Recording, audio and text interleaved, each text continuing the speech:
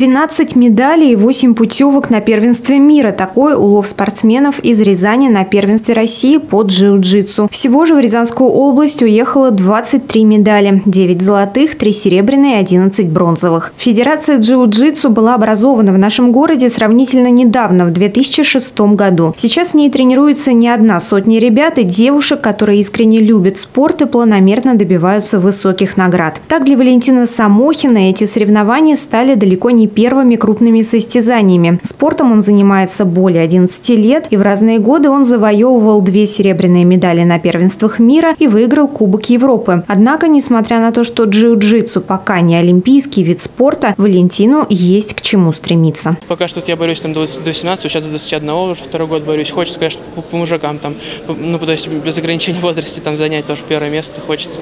Казалось бы, этот вид спорта, где ударная техника сочетается с борьбой, вот как раз для таких крепких, сильных ребят. Но нет. Среди спортсменов много девушек, которые наравне с мальчишками поднимаются на пьедестал победителей. Так Маргарита Якушкина в прошедших соревнованиях завоевала сразу две золотые медали в разных дисциплинах – файтинге и невазе. В спорт она пришла 8 лет назад. Начала с карате, а потом занялась джиу-джитсу. Причем весьма успешно, ведь чемпионкой России она становится уже в третий раз. Главное – это хотеть действительно всей душой и всем сердцем.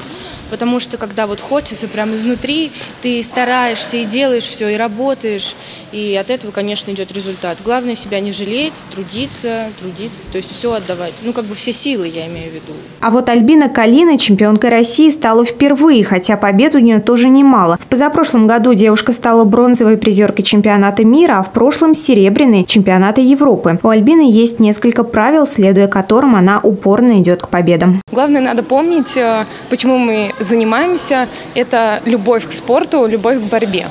Затем э, Следующее правило – это уверенность в себе и своих возможностях, и вера в свой талант, скажем так.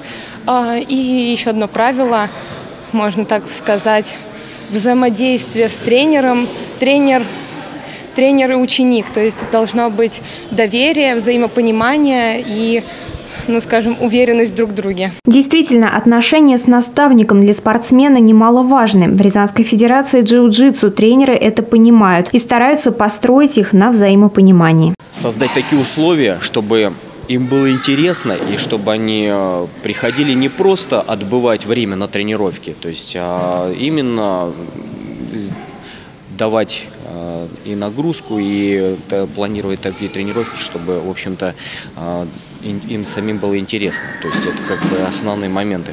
Тренерский состав прошедшими соревнованиями доволен. Путевку на первенство мира получили те спортсмены, которые заняли первые и вторые места. Однако и у бронзовых призеров остается шанс попасть на мир. Ирина Ковалева, Станислав Кудряшов, телекомпания «Город».